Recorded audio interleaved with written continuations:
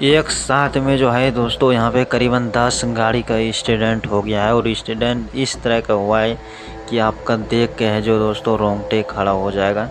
और यहाँ पे अभी देखिए, अभी एक्सीडेंट इस तरीके से हुआ है जो कि गाड़ी एकदम बिथड़ा पड़ा हुआ है। कोई गाड़ी इधर, कोई उधर पड़ा हुआ है तो दोस्तों अनगिनत है यहाँ पे। इस तरह का से जो यहाँ पे दुर्घटना हुआ है दोस्तों।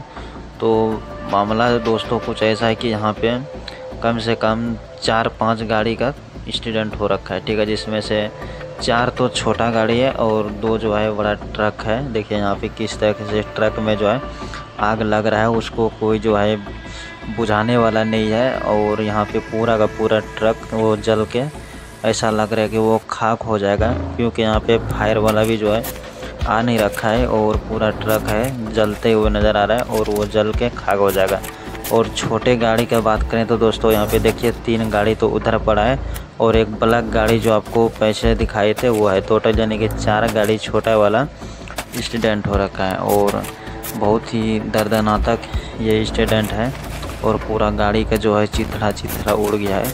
हालाँकि यानी कि किसी आदमी का तो यहाँ पे कुछ हुआ नहीं है, किसी की जाने नहीं गया है, पर यहाँ पे गाड़ी जो है पूरा एकदम दस नस हो गया है और वो गाड़ी में जो आग लगा इस तरह से कि उसको अभी तक कोई बुझाने का जो है यहाँ पे सुविधा अभी तक नहीं आ रखा है।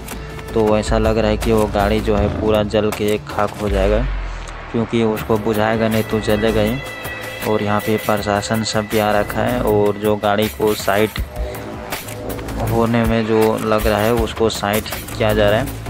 और जो बहुत ही ख़राब दशा में उसको वहीं पे देखिए पड़ा हुआ है गाड़ी।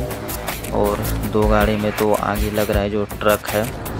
और ट्रक का ड्राइवर के साथ क्या हुआ अभी तक तो कुछ पता नहीं चल रहा है। पर कार का जो ड्राइवर सब है, वो सब ठीक है। ट्रक को आप देखिए एक बार, जो कि आगे का एकदम इंजन तक पूरा जल के एकदम खाक हो गया है दोस्तों। तो मिलते हैं नेक्स्ट